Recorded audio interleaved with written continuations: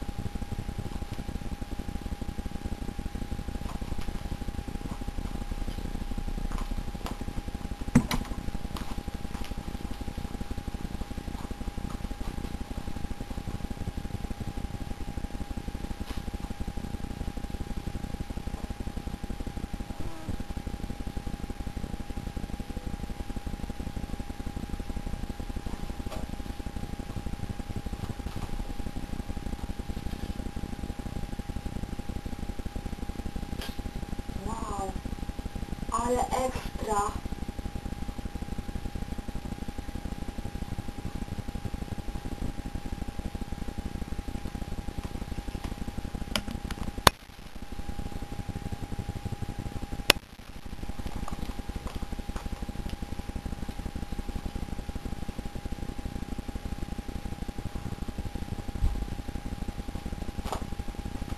Ojej, witam serdecznie.